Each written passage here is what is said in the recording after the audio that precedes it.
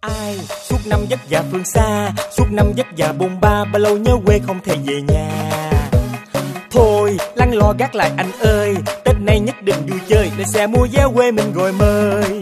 Không cần quà cáp, không cần lo lắng miệng cười từ tăng áo tết mới sang từng bừng trong nắng. Ba mẹ trồng ngông ông bà trồng ngông chừng chừ chị nữa với lên đi về đón mừng tết sang tết sang tết sang tết sang tết sang cùng nhau lên xe lăn bánh chúng ta sẽ cùng về nhà. Và con anh em tôi chúc mọi người tết sang tình vui như nước một năm nhưng vui no ấm bên nhau hãy cười thiệt nhiều. Dẹp đi bao nhiêu lo lắng ta cùng với nhau ăn tết thiệt vui ăn tết thiệt vui cùng chơi xa láng ăn tết thiệt vui